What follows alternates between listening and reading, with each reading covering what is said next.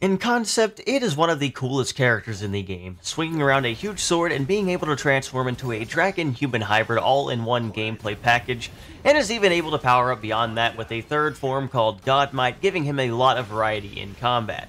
He's the only character who can use 8 skills in total and has both melee and ranged options and can have windows of high burst damage thanks to his skills he has, along with a couple utility options too.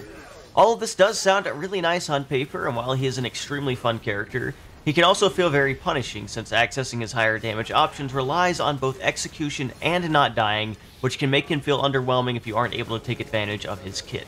In this video, I want to discuss id, talk about his strengths and weaknesses, discuss general setup and playstyle, and showcase some practical gameplay applications of the character. If you enjoy guide content on Relink as well as other RPGs and would like to see more, please be sure to subscribe to the channel because I do want to cover every character, and I would also love you forever. Let's get into it. So Id is a character who may seem complex at first glance, having to manage his three separate forms, but he's actually a more straightforward character than you would expect. In base form, he has a standard attack combo that leads to his Y attack, Sword Flurry, which starts his combo finisher, and can use a lunge attack from this button as well into a finisher. Looking at his two support skills, we see that it has a gauge that fills up as you use skills and combo finisher attacks, and usually a full combo finisher can fill half your gauge while a lunge combo can fill just an extra little bit if you're really close to filling the gauge. It's also worth noting that it can do the same thing Percy can, where you can cancel a skill with a dodge early to keep the skill cooldown and immediately go into a sword flurry, but this isn't that useful on him by comparison because of how his skill cooldowns work and how often you're probably form shifting anyway, but it is an option to consider in some situations. When this gauge is filled, you will transform into dragon form. In Dragon form, you have a new set of skills that are immediately off cooldown no matter what, and different attacks, including a ranged combo option from your combo finisher button that does less damage than your melee combo, but is still really nice to have. The melee combo is bound to the normal attack button. Dragon form also has Stout Heart, meaning enemies cannot interrupt you with regular attacks unless they kill you, which can still happen, so do keep an eye on your health if you do plan to try to face tank through something. But the extra utility of having Stout Heart is still really nice. When you fill the four outer segments while in Dragon form, in which one segment is filled by either your melee or ranged combo, or by using Link Attack, you will enter Godmight. Godmight has increased damage compared to your base form, along with a new high burst damage combo finisher, but is otherwise identical ability-wise. Your primary goal in the base form is to build up to your Dragon form, and your primary goal in your Dragon form, most of the time, is building up to Godmight. And your primary goal in Godmight is to unleash your Godmight finisher, which does a massive amount of burst damage, but ends Godmight afterwards. This sends you back to your base form, where you would repeat the cycle. Now, you might be thinking, is it not better to stay in Dragon form or Godmight longer in order to get better damage? Well, as it turns out, Dragon form doesn't actually offer a ton of additional damage, and Godmight's damage while being higher than base form isn't actually that much higher that it's worth staying in the form over just using your finisher when you have a good moment to unleash it, considering the large amount of damage you can get from the finisher, especially because it doesn't take too terribly long to form shift usually. This means an ideal gameplay loop for max damage with it is going to be shifting forms constantly to get off as many Godmight finishers as you can.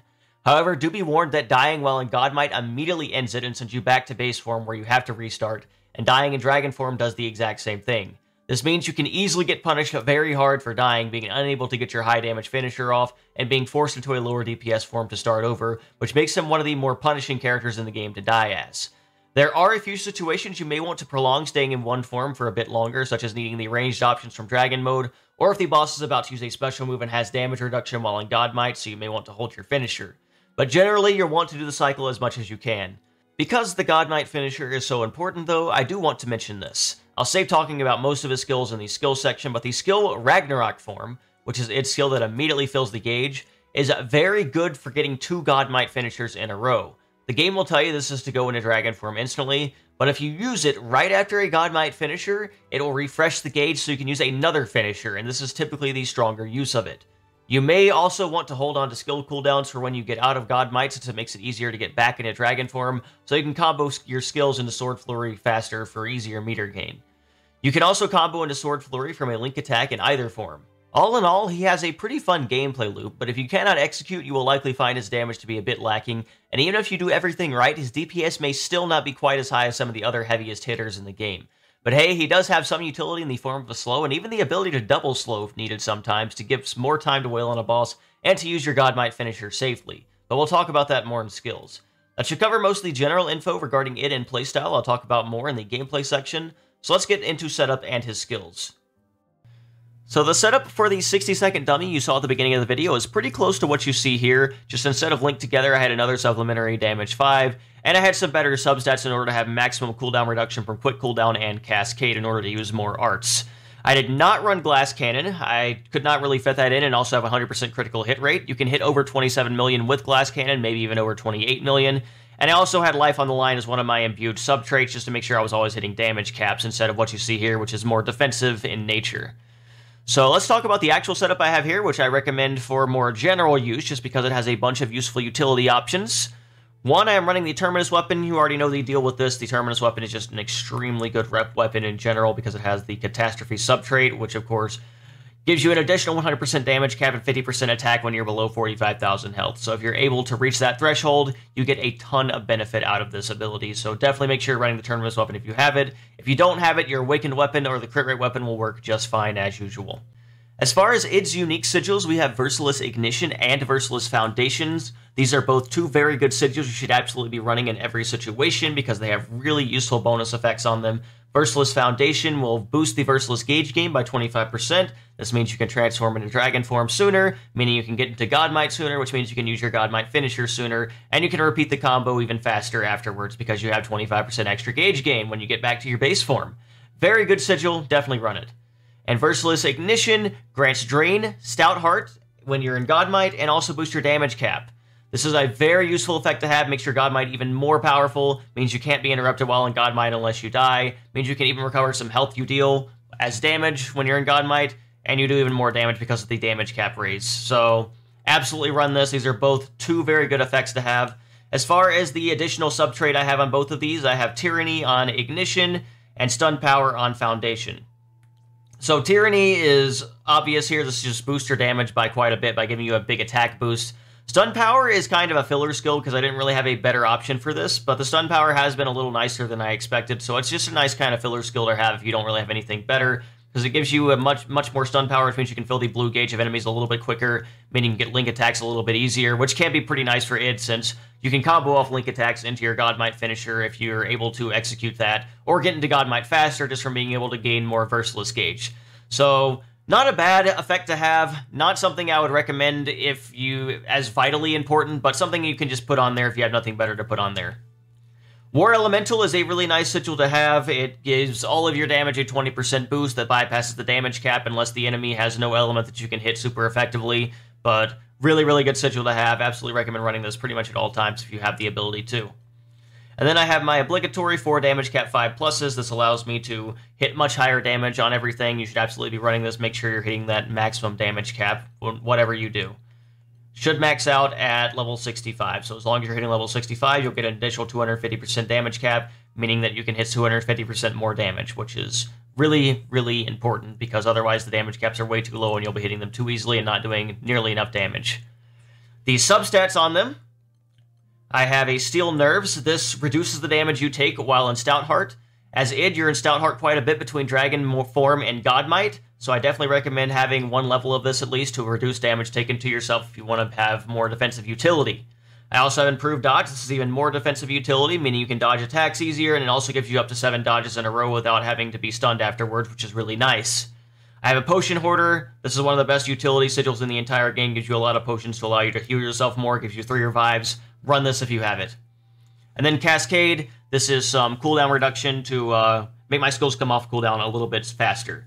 Now, I do not have maximum cooldown reduction like I do on some other characters because it's less efficient on id because of how his kit works, how you always have your skills up when you go into Dragon form no matter what, and you're not going to be staying in Dragon form enough for it to matter that they come off cooldown, and how cooldown reduction does not tick while you are in Dragon form for your other skills.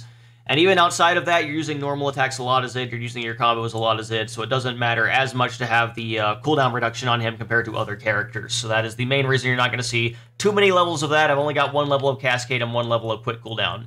The Quick Cooldown is on my Link Together.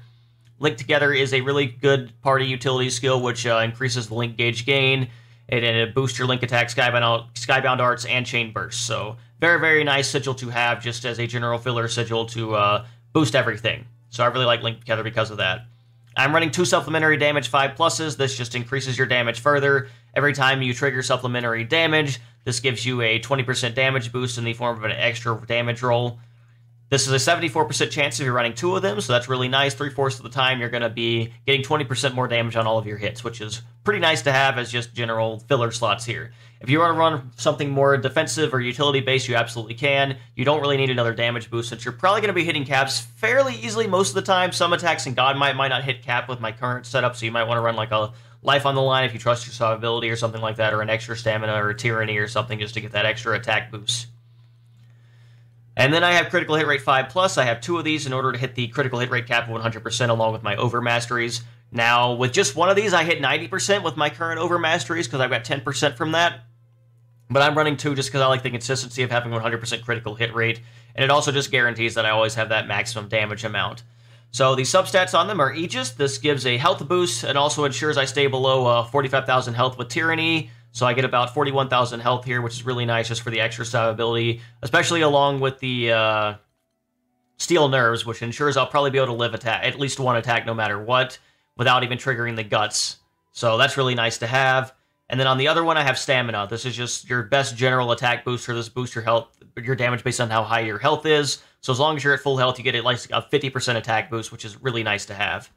And then finally, the other traits I have are the traits on my weapon. Since I haven't mentioned them, I have Guts on my weapon. This just gives you a nice, uh, you can live at 1 HP no matter what, one time per fight. At the very least, it has a long cooldown on only level 4 compared to a level 15 version that you would find on a Sigil. But just being able to fit Guts in is really nice. I didn't really have a better way to fit it in than just having it as an imbued trait. The Glaciate Resistance is a bit of a filler slot here, and the critical hit rate up is uh, always nice to have to make sure I'm hitting that 100% rate. There are some other sigil effects you could consider running, like auto revive, but in general, you want to not die in the first places as Id because that resets your gauges. So having stuff like Guts, uh, Stout Heart, Steel Nerve, stuff like that is going to limit the damage more than anything, and Aegis too. So just preventing dying is going to be more important than dying and being revived immediately. So definitely recommend uh, running more defensive utility-based options on it in general, even over cooldown reduction in this specific case because of how his cooldowns work. So with that in mind, let's take a look at his skills now. It has uh, eight normal skills and then four skills in dragon form, which are locked to his dragon form no matter what, which the dragon form skills have the same name as his, some of his regular skills, but function a little bit differently most of the time. So first up, we have Regan Leave Recidive, and I apologize uh, I pronounced that wrong. This is just a projectile attack, which can be pretty nice for hitting enemies from pretty far away, but the major benefit is the short cooldown it has. It having a short cooldown means you can use it to combo into your finisher, which means you get Versatilus Gauge easier, and you can also get into your Godmight finisher a little bit faster from this as well. Although I recommend saving it for after your Godmight finisher is over, so you can get back into Dragon form sooner afterwards from filling the Versatilus Gauge, and get back into Godmight a little bit sooner as well. In Dragon Form, this skill is a little bit less useful. It's probably the least useful skill you have in Dragon Form. It's just a slow animation attack that fires three projectiles. It still can be okay to use in some situations, although I would not recommend using it over your other Dragon Form abilities, and if you can fill up the Dragon Gauge a little bit quicker without this to get into Godmight faster, then that is probably going to be the recommended solution. Ragnarok Form is a pretty much mandatory ability on him. It allows you to instantly transform into Dragon Form when you're in base form, and it also fully restores the Versatilus Gauge if you activate it in Godmight. So you can use your Godmight finisher and then activate this ability again in order to use another Godmight finisher, which is the recommended use for it in my opinion, because that gives you a lot of burst damage at once, especially if you combo it with some of his other abilities. So this is absolutely mandatory. The best use of it is going to be using it in Godmight form, unless you're near the end of a fight and just want to get into Dragon form quickly to do a little bit more damage. But otherwise, save it for Godmight form. Arcadia is another skill that I would say is almost essentially required just because the slow is a very nice utility to have. This will slow the action speed of the enemy, allowing you to get your combo finishers off easier, allowing you to use your Godmight finisher easier, and probably the best use of it is going to be using it right before Godmight finisher if you don't have a free downtime moment to wail on the enemy, like such as breaking or anything like that. Just being able to stop the enemy for a little bit of time is really nice to have on a character like Id.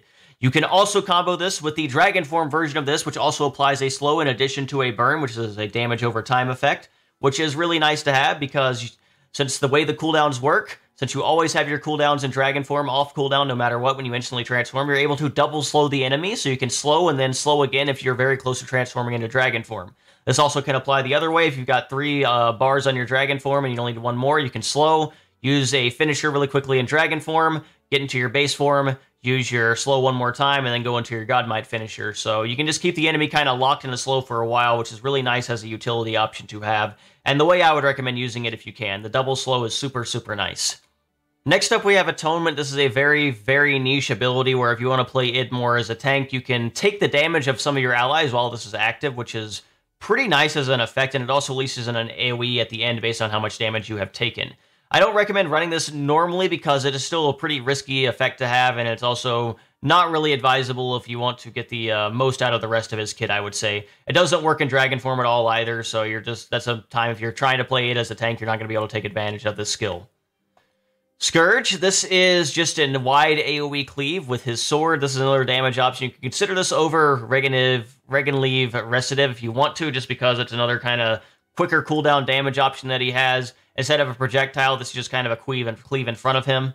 And Dragon Form, this is one of your best abilities. You can multi-hit enemies with it, and it's just kind of a big, giant AoE laser in that form. So really, really good in Dragon Form. Really nice effect in that form.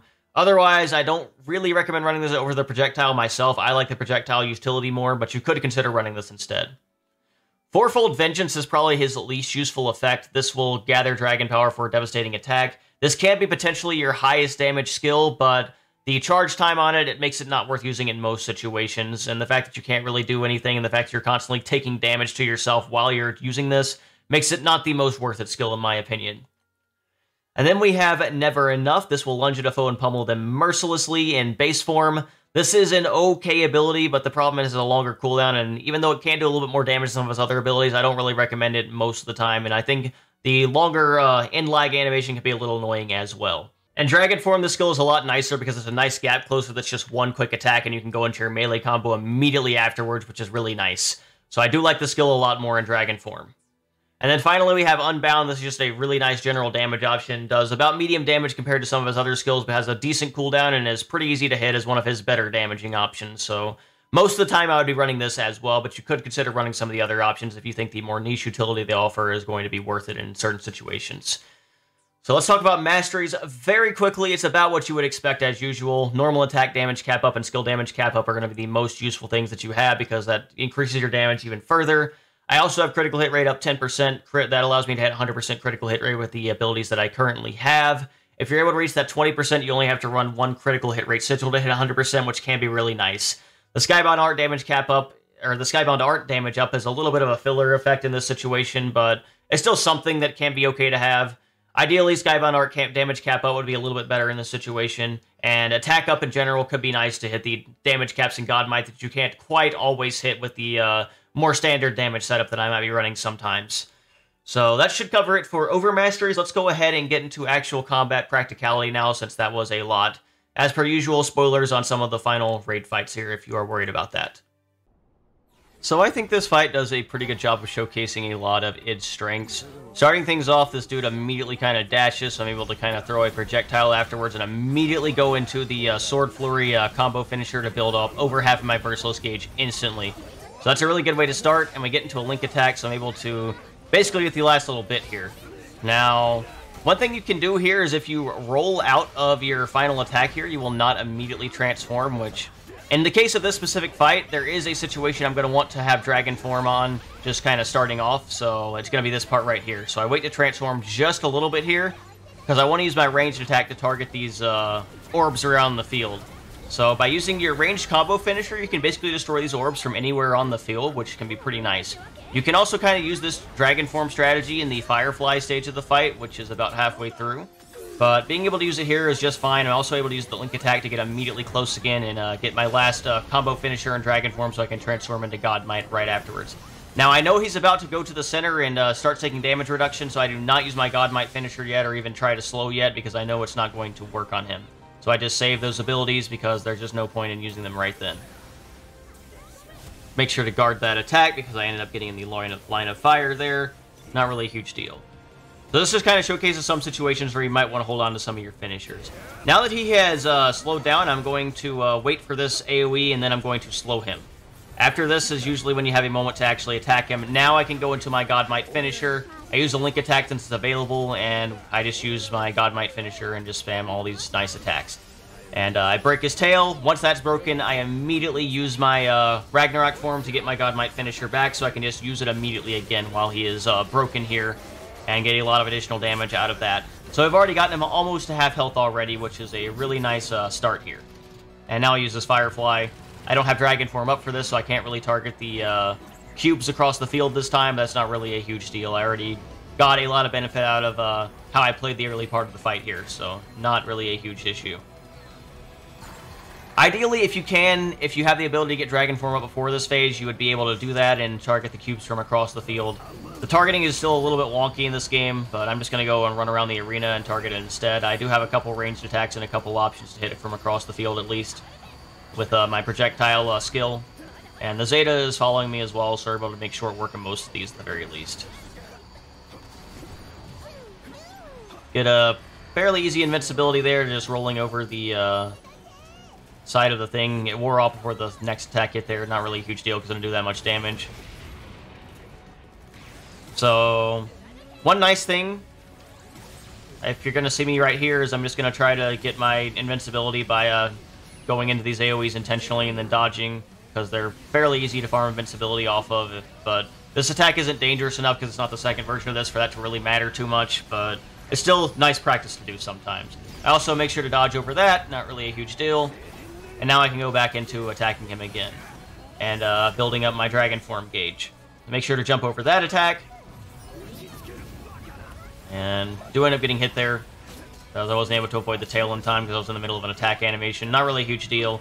I do end up getting a slow off here, so I'm able to uh, get the attacks a little bit easier, although I was targeting an enemy across the field for some reason because the targeting system in this game is really whack, which ends up uh, kind of messing me up a little bit, but thanks to the additional survivability I have on the character, it's not really a big deal. I've got a lot of health, I've got uh, abilities to increase my defense, I've got guts, so I should be fine no matter what. And I transform into Dragon Form. This gives me Stout Heart, which means I have still nerves act still nerves active now, so that's really nice. And now I'm just going to be using my uh, combo finishers to uh, get into Godmight form when I can. Not really a huge deal if I can't immediately here. He kind of uh, nullifies some of my combo finishers by with the wind box, but not really a huge deal. And during this section, I'm going to use range attacks because I can't do melee attacks. If I stand in that little circle in the middle, it'll just instantly die. And uh, since I have Stout Heart, I'm able to kind of stay in place and use my uh, ranged combo finisher. I do have to heal some because I'm taking some damage thanks to the uh, attacks hitting me, but it is nice that I'm able to build that up anyway and not die.